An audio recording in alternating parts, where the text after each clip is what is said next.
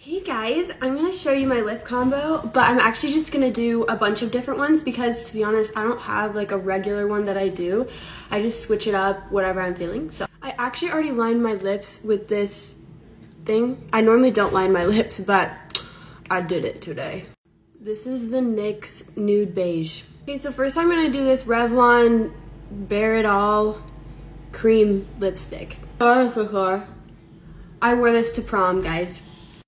It's really pretty. I'm actually feeling this today, but I'm gonna do some more too.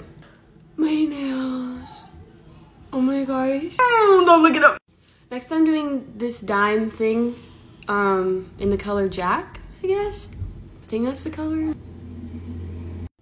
Okay, so this one's super dramatic. Um, I used to wear this one a lot actually, but I didn't put this much on. I would normally just do like a dot and then just rub it in so it was like not as dramatic. But this is good for like events and stuff. Better work. Okay, I got it off mostly. Okay, I want to try this elf one. Oh gosh, it's literally her hole.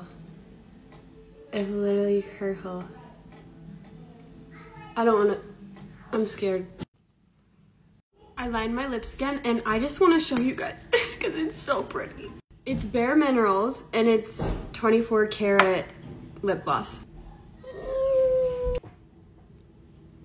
Not even gonna lie, it doesn't even look as good on camera, like at all. But it's just so shimmery and beautiful. So it smells so good.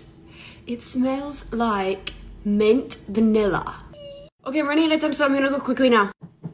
Don't even lie to me and tell me this isn't the cutest color you've ever seen in your life. Also, it's lip plumper. Last one I'm doing is this, and first of all, worst case. Second of all, literally the prettiest lip gloss ever.